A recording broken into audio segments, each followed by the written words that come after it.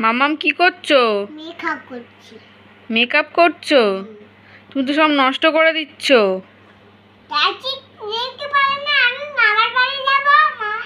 মামার বাড়ি যাব হ্যাঁ। এত রাত্রিবেলা? হ্যাঁ। এত রাত্রিবেলা কি করে তুমি মামার বাড়ি যাবে? আমি কি করে যাবে? এবার আমাকে ছাড়ি নেই। শাড়ি নেই? তুমি শাড়ি পরবে? হ্যাঁ।